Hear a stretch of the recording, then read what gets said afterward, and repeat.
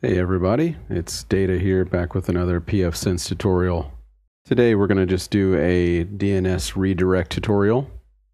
The use case for redirecting DNS, uh, basically you want to take complete control over DNS on your network. Say if you have devices that specify their own DNS uh, address, uh, say for example, um, I have an Android phone and even though it gets the DNS settings from the DHCP server. Um, it also, being Android, uh, has the Google uh, DNS servers as a default. So basically, what this does is that uh, any any DNS uh, request that comes through, um, it hits this rule that we're going to create and uh, is redirected to the internal DHCP server within pfSense uh, that's going to allow you to completely control what DNS servers are used and where your information goes.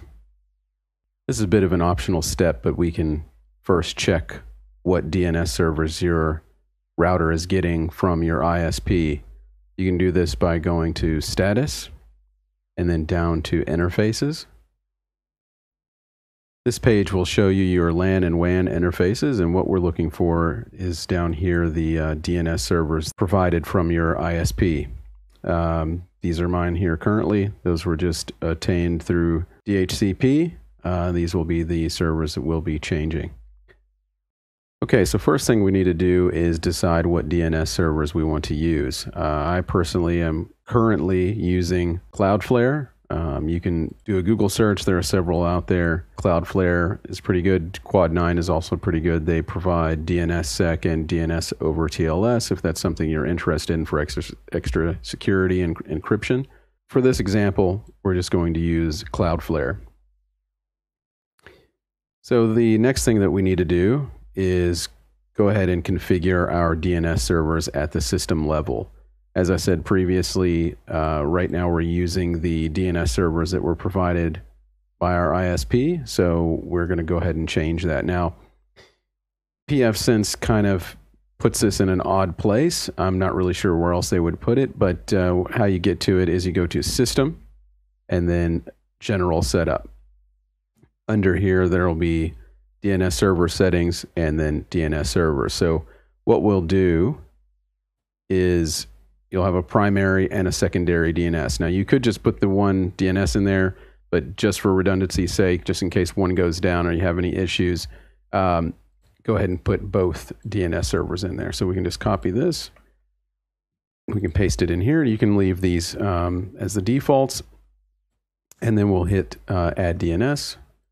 And we can go back and copy our second DNS server. Now, once we put the DNS servers in there, what we want to do is scroll down.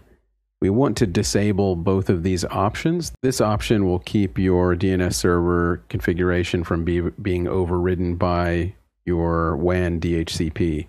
So we'll uncheck that. We will uncheck this option here as this will allow us to use pfSense, uh, our local pfSense machine, as our DNS resolver. So once we've made those changes, we can just scroll all the way down to the bottom and we can hit save there. And those changes have been applied successfully. The third thing we need to do is actually enable the DNS resolver within pfSense, which is unbound. So how we do that is go into services and then down to DNS resolver. Don't go to DNS forwarder, we need DNS resolver in this instance. Now what we want to do on this page is go ahead and enable the DNS resolver. We scroll down a bit here. The other option we want to configure is enable forwarding mode. Make sure that is checked. And then go ahead and hit save. And we want to go ahead and apply changes.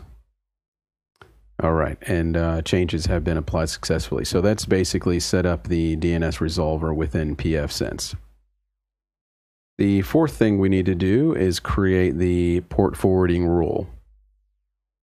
How you do that is you go to Firewall and then to NAT.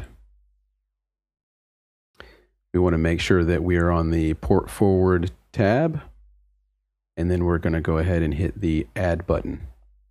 Now on this page, what we want to do is go ahead and select LAN under interface and under protocol, we want TCP slash UDP.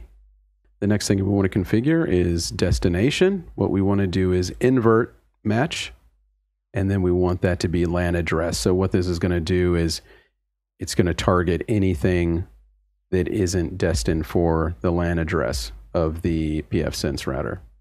What we're going to configure next is the destination port range. We can select DNS from this list. That will populate the from and to port. Next, we want to configure the redirect target IP. What we're going to do is put the loopback address for the pfSense box here locally. And then what we want to do is configure the redirect target port for DNS as well. We're going to scroll down and the description, we're going to call this redirect DNS. We also want to make sure we configure on NAT reflection. We want that to be disabled. So basically what this rule is telling us here is that on the LAN interface, when it comes to TCP and UDP protocol, and anything that doesn't match the LAN address that is the DNS port, we want to redirect all of that traffic to the local DNS server. So we can just scroll down here and one thing to note here is that if it's configured to add associated filter rule, which it is by default, what that will do is create a filter rule as well as the port forward rule. So we'll go ahead and hit the save button. And then we'll go up here and we will hit apply changes. All right, so the fifth step, uh, we just basically want to check and make sure that our rule is working. So what we can do uh, is a couple different things. One is we can go to the uh, status of the resolver. What we do here is we go to status and then down to DNS resolver. All right, so what we can see here is our Cloudflare DNS servers are configured and we've got a TTL and a ping going. You can keep clicking on the DNS resolver up here, and that will show you uh, the values changing there. So we do see that it, at the very least it's reaching the Cloudflare servers. The second way we can test this is going and checking the states on the firewall rule. So we can do that by going to firewall and then rules and then th this was created on the LAN interface. So we want to be on the LAN tab. And we can see our rule that was created from the port forward rule. Now what we want to do here is we actually want to move this up. In this case, I want it to be at the top because I want it to be the first rule that's hit in the order here.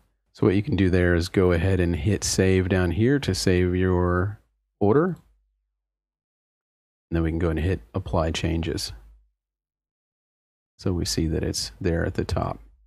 Okay, so what we want to do here is keep an eye on our states here. So we have zero states, uh, zero bytes gone through this rule.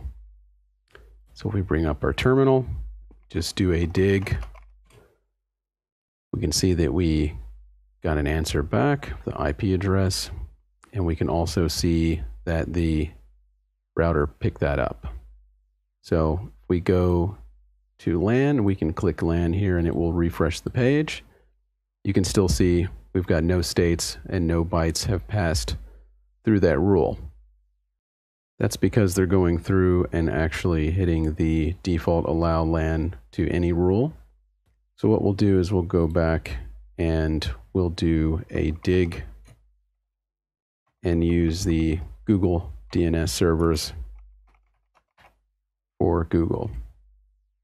Once again, got an IP address back. This is saying it came from the Google DNS servers, but if we refresh the LAN, you can see here we've got one state and 162 bytes pass through that rule. So, for all intents and purposes, we can guarantee that's working. So that wraps up our pfSense DNS redirect tutorial. Very short and simple. Once again, if you have any questions or there's anything that I didn't go over, uh, make sure to put them in the comments. Uh, if there's any other tutorial that you would like to see, uh, just let me know. And I will see you guys on the next one.